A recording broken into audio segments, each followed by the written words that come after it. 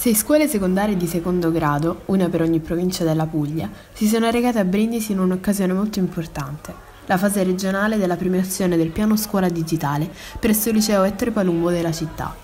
Si tratta di una competizione a livello territoriale promossa dal MIUR, al fine di diffondere la cultura digitale nella scuola italiana, premiando le eccellenze e incentivando così l'utilizzo delle tecnologie.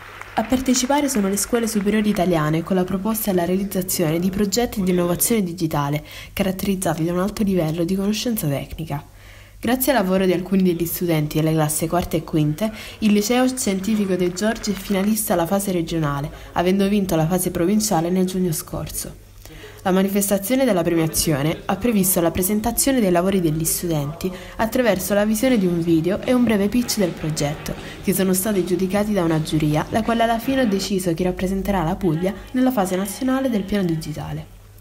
Alla manifestazione sono presenti il prefetto di Brindisi Valerio Valente, l'assessore regionale Sebastiano Leo, il direttore generale dell'ufficio scolastico regionale Anna Camalleri e il sottosegretario dell'istruzione Salvatore Giuliano. Tutti affermano indiscutibilmente l'eccellenza delle scuole pugliesi. Ad aprire la presentazione dei progetti è l'Istituto Panetti di Bari, con l'introduzione della Radio Panetti, a cui segue l'Istituto dell'Aquila di Bat con la creazione di un videogioco, per poi arrivare alla mostra dell'app Next Palumbo dell'omonimo liceo e il bot Telegram dell'Istituto Pascal di Foggia. Prima della presentazione del tavolo per ipovedenti realizzato dall'Istituto Pacinotti di Taranto, gli alunni del nostro liceo presentano il loro progetto, focalizzandosi su due esperienze, una per quanto riguarda il funzionamento della stampante 3D e l'altra in campo della fisica. Grazie ad Arduino e all'utilizzo del software per il coding, hanno sfruttato le leggi fisiche per costruire un sensore in grado di misurare la distanza da un oggetto qualsiasi al sensore.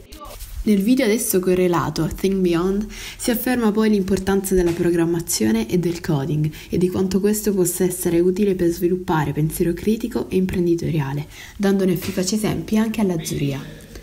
Quest'ultima, alla fine della manifestazione, dopo vari approfondimenti sui lavori di tutti i ragazzi, proclama vincitore di questa fase regionale l'Istituto Pacinotti di Taranto.